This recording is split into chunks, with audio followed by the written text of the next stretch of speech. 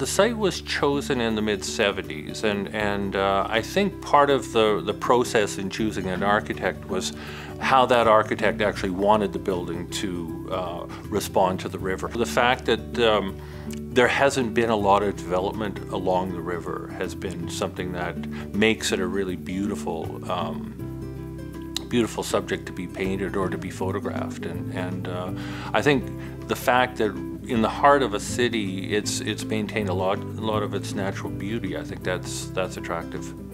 we haven't paid attention to the river nearly as much as we could have or should have, and it's a it's a wonderful opportunity to actually see the potential that's that's there, both at the Forks but all along the, the, the Thames River. When we landed on having Ron do a, a garden in the back, uh, it just seemed like the perfect uh, match for